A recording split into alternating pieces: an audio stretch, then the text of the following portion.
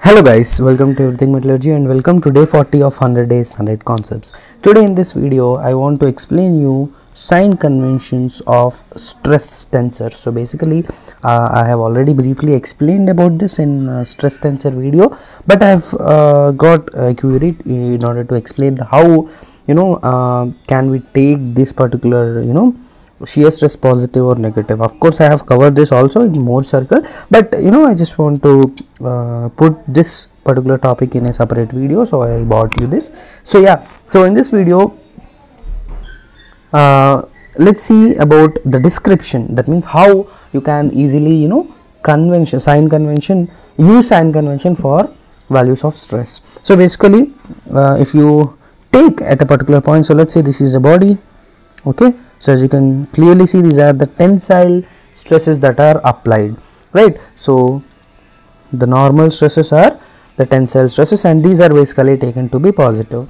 Similarly on the same body if the stress states are reversed the normals you know um, stresses are reversed then we usually say these are compression or these are compressive stresses which basically we take them to be negative values right? So now this is clear. One thing uh, many people confuse is about this shear stress. Okay? So how to take whether it is positive or negative. So we all know what is the shear stress and how we usually denote it. Okay right? So we know we usually denote it with the help of tau ij. So what are these i and j over here? So these are nothing but the uh, different axes. So what is i? I indicates the shear stress okay whatever stress that is acting it is acting on a plane that is perpendicular to this particular i axis. Correct? So that means i is nothing but the plane normal axis.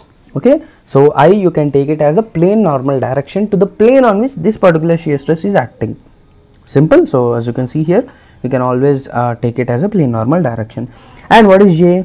J is nothing but the direction of the shear stress which is you know acting on that particular plane okay? So if you just take an example of tau xy so tau xy is nothing but the shear stress that is acting on a plane which is perpendicular to my x axis that means this xe is my plane normal.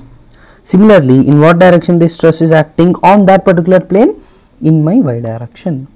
Okay? So this is how basically you um, tend to describe a shear stress okay? So i hope you understood this description of how you basically you know uh, explain any tau ij right? Now comes the bigger part which is sign convention. So basically as you can see over here this sign convention is different which we have considered uh, in Mohr circle right? So in Mohr circle what we saw we saw that any uh, value which is you know uh, clockwise or anti-clockwise uh, determines whether it is positive or negative. But here basically when you talk about stress description at any point you usually take this as the stresses. So as you can see this is the shear stress over here. Similarly here these are the shear stresses.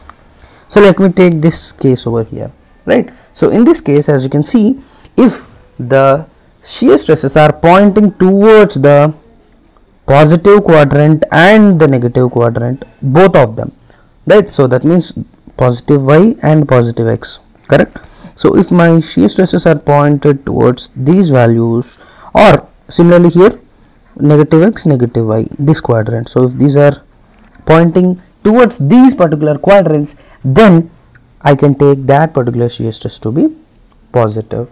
Whereas um, what is negative? Negative is just opposite. So if one of them okay? So if one of them is positive and the other is negative then you can say that it is negative. That means the quadrants here considered are plus x and minus y and the other is minus x and plus y. Okay so if my stress values are pointed towards these quadrants you can say that this is a negative shear stress. So what i was telling previously is uh, about Mohr circle right so if you go back to Mohr circle what you find over there is this thing. Okay so yeah if you did not watch the video please go and watch this particular video. The, the same diagram i have explained there right? So if you want to denote the shear stresses the sign convention that is used in construction of Mohr circle is quite different. So what is here? So let's say this is my tau xy and this is my tau yx so according to the convention we saw both are into positive. So it is a positive shear stress.